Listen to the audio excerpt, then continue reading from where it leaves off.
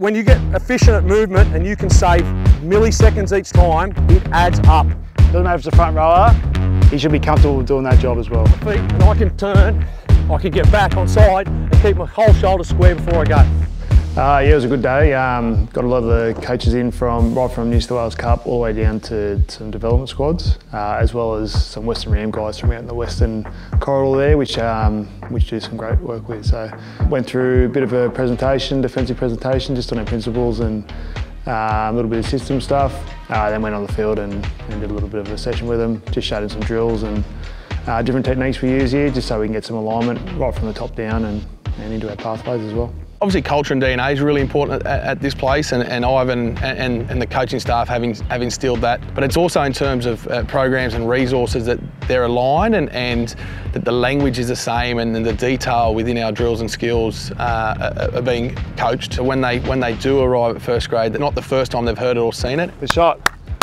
Oh, it's really important um, to get that alignment, especially right from the top down. Um, there's just some really core fundamentals that we, we base a lot of our training on. Um, they come out in the game, come out under the most pressure. So if we get that alignment right from the top down, um, it's really going to help the players as they come through the grades um, here at Penrith. Right, but if you can't do that, if you can't stop, you're in trouble.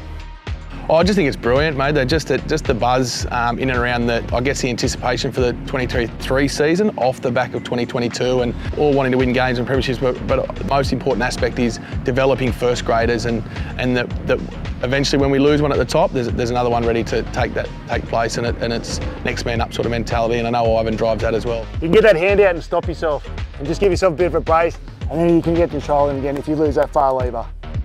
Yeah, we can see the connection that we have right from first grade right down through the through the rest of the, um, the grades, not only on the field, but also with the culture. I think the values flow right from the top down. You know, if we've got better people, um, it's going to create, create better footballers as well. So um, you can see, really see that, and I think days like um, what we did on the weekend, they really promote that, and uh, it's a great opportunity for the coaches of all grades to come in and, and just see how we do things here.